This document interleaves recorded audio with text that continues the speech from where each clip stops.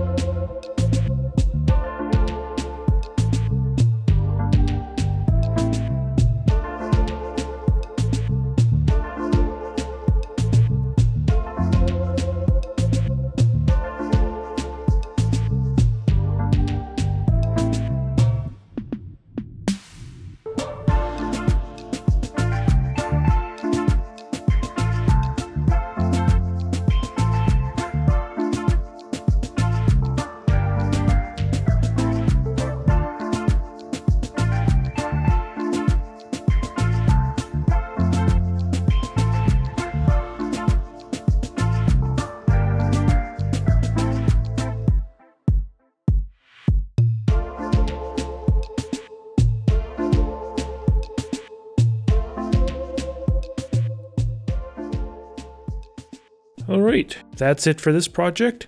Hope you guys enjoyed it. If you did enjoy it, please make sure to go ahead and hit that thumbs up button and leave any questions you have in the comments section below.